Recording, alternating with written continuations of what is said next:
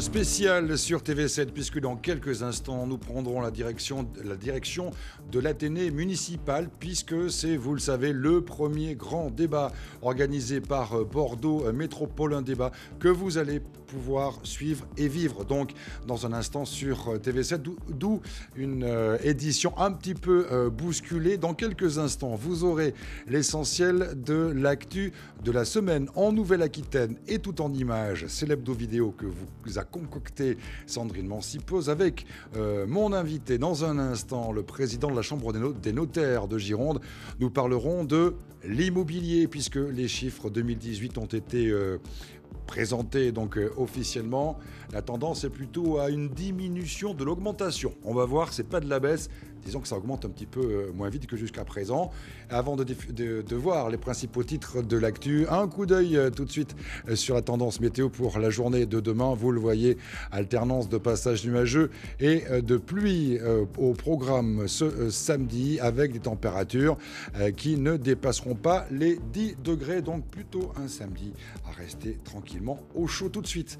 Regardons ce qui s'est passé durant cette journée de vendredi. Je vous le disais, dans un instant, nous prendrons la direction euh, de l'Athénée municipal à Bordeaux. C'est là euh, qu'est organisé le premier débat par Bordeaux Métropole. Il devrait commencer dans quelques instants. Nous prendrons tout de suite la direction de l'Athénée municipal avec Christophe Chavanou qui nous attend sur place. Nous verrons un petit peu quelle est l'ambiance. Donc Christophe Chavanou, ce sera tout à l'heure. Vous le voyez, il est là, il nous attend, il sera euh, avec nous dans un instant. Mais tout de suite, retour sur une visite ministérielle et attendue, semble-t-il, celle d'Édouard Philippe.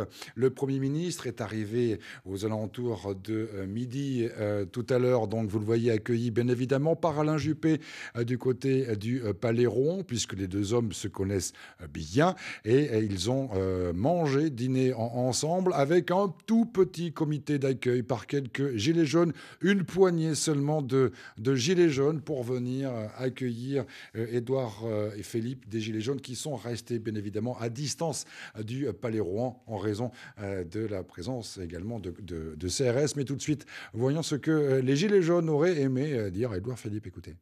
Les, premières questions vont être euh, celles sur le pouvoir d'achat. Aujourd'hui, euh, euh, on nous avait promis que, le prix de l'essence n'allait pas augmenter sur les six prochains mois. On a connu une hausse en janvier, on va connaître une hausse de 7 centimes en février. on nous avait promis qu'on baisserait le prix des produits de première nécessité en France. On va les augmenter en février. Euh, euh, et, notre troisième question, ça va être euh, sur la baisse historique des, APL en France. On a, on a même peur que, que, ça, ça, disparaisse du, système. Je pense que c'est important de montrer qu'on est encore là. on reste là malgré le temps. voilà, on est, on est toujours sur le terrain et on n'est pas prêt de partir.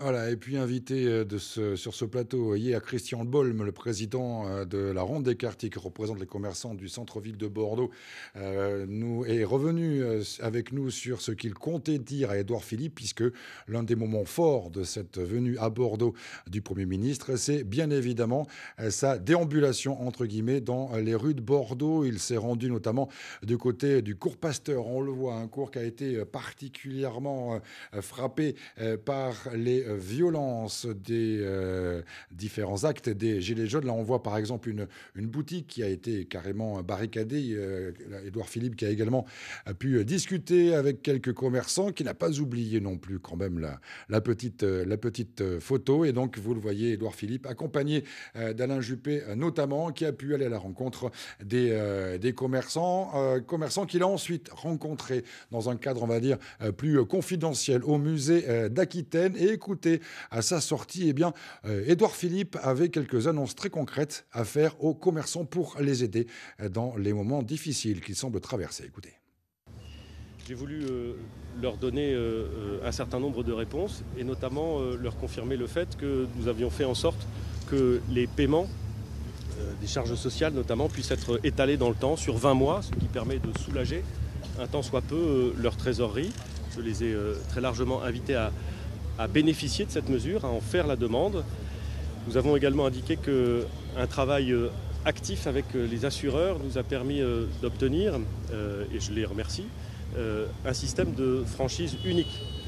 Quelques commerçants ont fait l'objet de dégradation plusieurs fois, plusieurs samedis de suite, et devaient s'acquitter de plusieurs franchises successives vis-à-vis de leur assureur.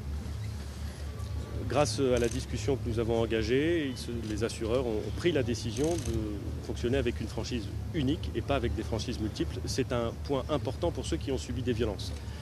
Et puis euh, l'État sera au rendez-vous euh, de l'accompagnement financier euh, des petits commerces qui subissent de plein fouet ces violences et ces pertes de chiffre d'affaires, notamment ici à Bordeaux un fonds qui permettra de mettre en place un plan de relance du petit commerce impacté par ces événements a été décidé.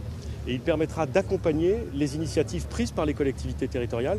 Alain Juppé a évoqué la possibilité de créer ici un fonds qui viendra indemniser les commerçants. Eh bien, les moyens mis en place par l'État permettront de compléter ce fonds décidé par les collectivités territoriales et donc d'accompagner les commerçants qui en ont besoin. Voilà, donc je vous le disais, Édouard Philippe, hein, le Premier ministre, qui est arrivé donc avec des annonces tout à fait concrètes et, des aides donc pour les commerçants, notamment les commerçants euh, bordelais qui sont assez impactés depuis plusieurs euh, semaines maintenant par les actes successifs des euh, Gilets jaunes. Un acte 12 d'ailleurs en préparation pour ce samedi. Et puis à la sortie effectivement de cette entrevue avec le Premier ministre Christian Bolm, le président de la ronde des quartiers que l'on voit là sur ces images, s'est dit plutôt satisfait par les annonces d'Édouard Philippe. Il lui semblait important à ses yeux que le Premier ministre vienne se rendre compte sur le terrain de ce que vivent donc les commerçants donc à la veille de l'acte 12 des euh, Gilets jaunes. Et puis je vous le disais, l'événement c'est dans quelques instants la possibilité pour vous de vivre et de suivre en direct sur TV7 mais aussi sur euh, sudouest.fr le premier grand débat organisé par Bordeaux Métropole. Ça se passe à l'Athénée municipal où euh, l'on retrouve tout de suite Christophe Chavanot. Alors on est à quelques minutes hein, du lancement de de ce grand débat, Christophe. Oui, effectivement, Bastien, 18h30, le grand débat sera lancé ici, euh, vous le voyez, à l'Athénée municipal, où euh, les entrées sont filtrées, euh, les gens viennent petit à petit et commencent à envahir la salle pour cette soirée, cette longue soirée de débat, du premier débat, du grand débat organisé ici à Bordeaux. S'en suivra bien, bien évidemment d'autres débats à Saint-Médard-en-Jalles, par exemple la semaine prochaine. Un quartier filtré, un non pas bouclé, on le voit derrière moi, il y a le cordon de CRS ici, et puis de l'autre côté, parce que juste derrière, il y a la préfecture où actuellement euh, est le Premier ministre euh, en compagnie de Didier Allemand, le préfet, euh, préfet de la Gironde, qui vient, qui vient de passer à l'instant. Et effectivement, donc là, les, gens continuent à arriver pendant, pour, pour s'installer pour ce, premier grand débat.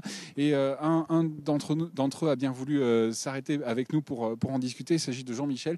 Jean-Michel qui est venu poser des questions concrètes sur effectivement ce premier débat, sur l'organisation de, l'État, mais aussi des services publics. Vous souhaitez interpeller euh, sur des questions qui vous semblent essentielles sur après, comment organiser après la vie publique? Alors, il faut donc on est, on est euh, structuré pour répondre à ce qu'est l'état actuel, c'est-à-dire une société de marché, de l'économie de marché et financière, qui vient de démontrer ses limites, et nous sommes en mutation sociétale. Or, la mutation sociétale implique la modification du fonctionnement présent. Cette modification ne doit pas se faire effectivement n'importe comment, mais elle ne doit plus répondre à l'économie de marché qui, visiblement, a atteint ses limites. Donc, euh, il faut mettre en place une économie, mais qui soit au service des hommes et non l'inverse, ce qu'est l'économie de marché. Et donc ça s'appelle une économie sociale et solidaire, une économie qui tienne compte non seulement du social, du culturel, mais aussi du fonctionnel.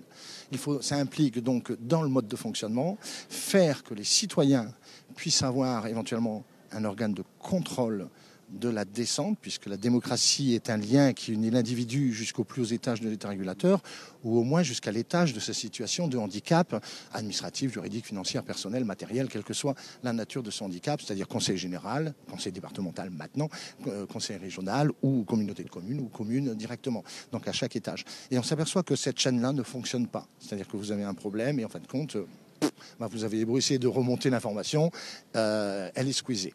Donc vous saisissez par exemple, comme ça m'est arrivé, de saisir sur un problème local le ministère de l'Intérieur, après avoir saisi monsieur le sous-préfet, monsieur le préfet, monsieur le préfet de région. Et là, et là donc en fait c'est la question qu'on de vous les poser. Et vous attendez quoi comme réponse très rapidement là Eh bien qu'il accepte effectivement de mettre un groupe de citoyens de contrôle du fonctionnement de la République et lorsque effectivement donc sur des, des thématiques pour que celui-ci se fasse son opinion sur l'efficacité des politiques publiques et l'efficacité du fonctionnement d'abord, avant même l'efficacité, l'efficacité du fonctionnement. Parce que ça ne fonctionne pas, j'en ai la preuve, mais des tas de fois, puisque même Monsieur le Premier ministre, je suis donc un acteur de la société civile engagé, nous avons des initiatives sur l'emploi.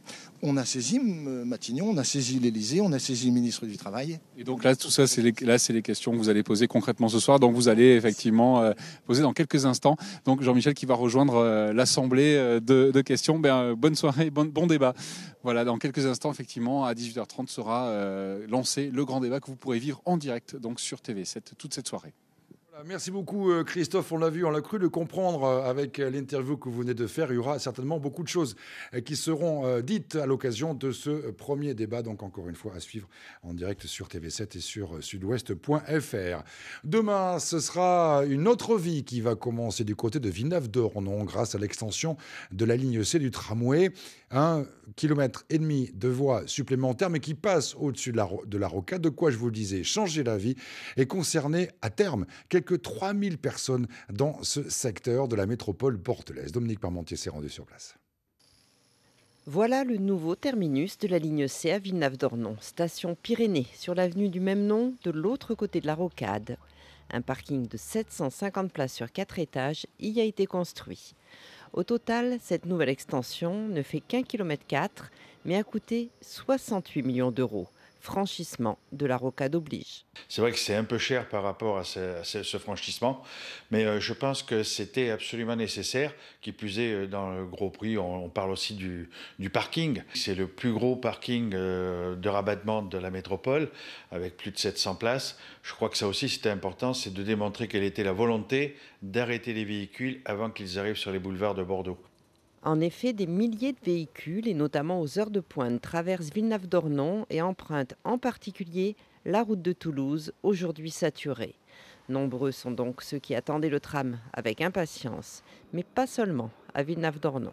Les maires des communes limitrophes, que ce soit Cadojac ou la communauté de communes de Montesquieu, avaient l'intention de pouvoir euh, ramener euh, les habitants de leur territoire via des navettes, donc en transport en commun, pour des raisons X, Y ou Z, euh, ils vont, euh, être interdits de mettre ces navettes en place parce qu'ils n'ont pas la compétence de, déplacement.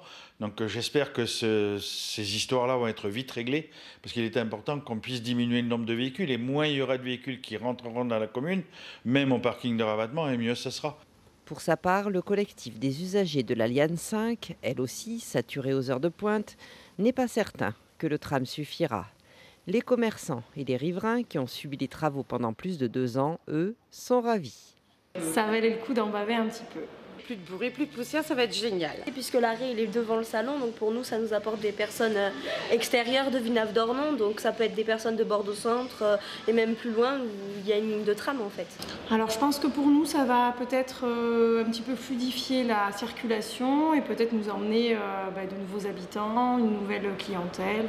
je, pense que, je pense que ça va nous amener du commerce en plus. Mise en service prévue ce samedi en début d'après-midi.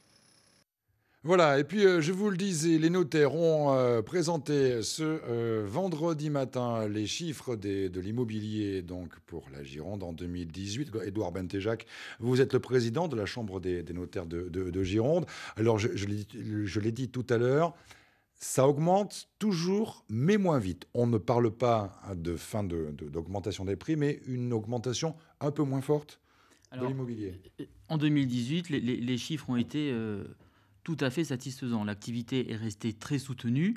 Et sur l'année 2018, on a des prix qui ont augmenté de environ en moyenne plus 12% dans l'ancien, ce, qui est, ce qui est quand même important. En réalité, en regardant plus en détail ces chiffres-là, on s'aperçoit que sur la fin de l'année, sur, le sur le dernier trimestre et peut-être même euh, en début de cette année, euh, la hausse a l'air d'être moins, moins importante. C'est-à-dire que le marché reste soutenu, tant au niveau des volumes et des prix, mais le marché tend à se stabiliser. Alors voyons maintenant ce qui fait effectivement que ce marché se stabilise. D'abord, est-ce que ça veut dire que euh, il y a euh, un peu plus de difficultés de, pour l'obtention de crédit C'est pas trop le cas. Non.